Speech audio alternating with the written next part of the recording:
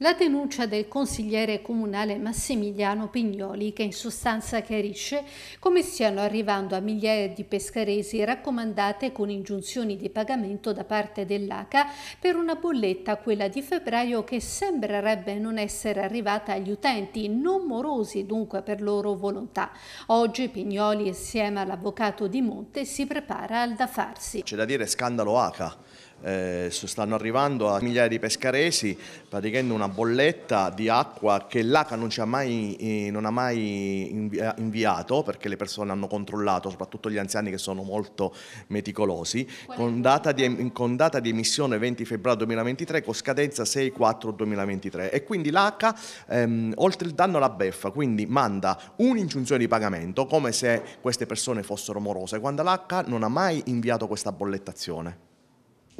E c'è però un risvolto, cioè se in 15 giorni non viene pagata la bolletta, cosa accade? Eh, cioè, qui è molto esplicito, cioè o la riduzione dell'acqua o addirittura la, la sospensione completa dell'acqua di persone ignare che, per bene che pagano continuamente l'acqua e sono cittadini onesti. E poi dovete considerare eh, che ogni bolletta arriva ovviamente con raccomandata con ricevuto di ritorno. Sapete quanto costa una raccomandata? E voi pensate che l'H eh, ovviamente paghi di persona il dipendente o il presidente o il direttore paghi di persone raccomandate, no, le pagano sempre i contribuenti, quindi peggioriamo ovviamente, ehm, ovviamente peggioriamo un interesse ehm, de dell'H stesso a pagare ehm, queste, queste cose. Poi mi chiedo, chi è in vacanza?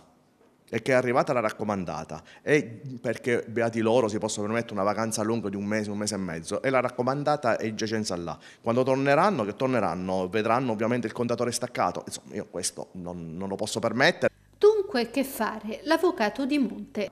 Quello che si potrebbe fare, io eh, procederei in tre passaggi. Primo, chiamare eh, i dirigenti dell'ACA per chiedere di tornare sui loro passi per capire un attimino se eh, questa eh, bolletta è corretta oppure meno, perché molti cittadini si sono visti recapitare questa bolletta che risale al febbraio, la sto vedendo ora, al febbraio del 2023.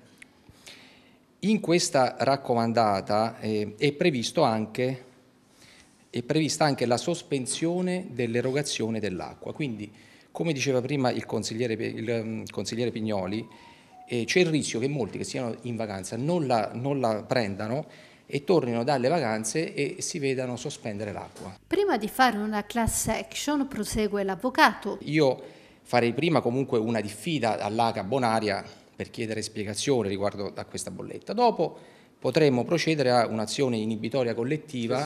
Significa che ciascun cittadino, con le nuove norme, può chiedere ad un'impresa o ad un ente di cessare un comportamento commercialmente scorretto.